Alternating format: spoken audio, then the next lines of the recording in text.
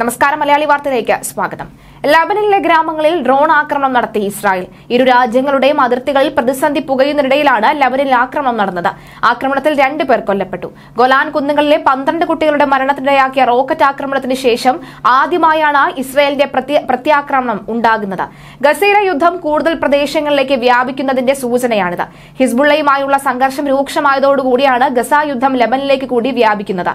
Lebanon അതിർത്തിയിൽ motor സൈക്കിളിൽ സഞ്ചരിക്കുകയായിരുന്ന രണ്ട് പേരാണ് ആക്രമണത്തിൽ കൊല്ലപ്പെട്ടത് എന്നാണ് ലബനൻ മാധ്യമങ്ങൾ റിപ്പോർട്ട് ചെയ്തത്.